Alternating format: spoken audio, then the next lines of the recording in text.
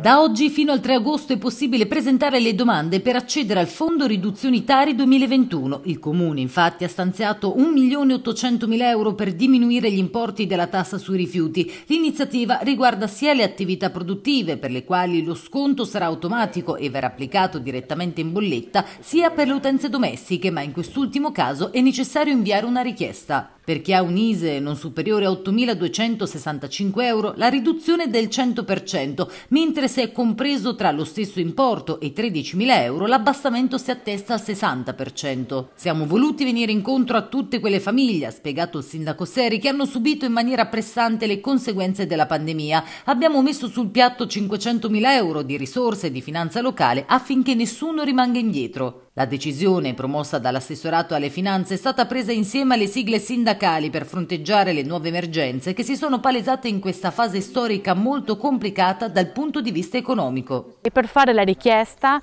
eh, si, ci sono tre modalità.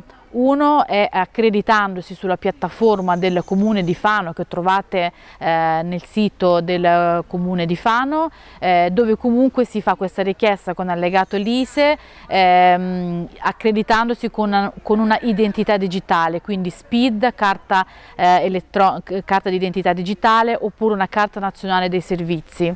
La seconda possibilità è quella di inviare una PEC eh, all'indirizzo ehm, comune Fano milano-emarche.it oppure mandando semplicemente un'email all'indirizzo eh, email riduzionitari chiocciola comune.fano.più.it. Al momento della presentazione della domanda è obbligatorio essere in regola con i versamenti della Tari al 31 dicembre 2019.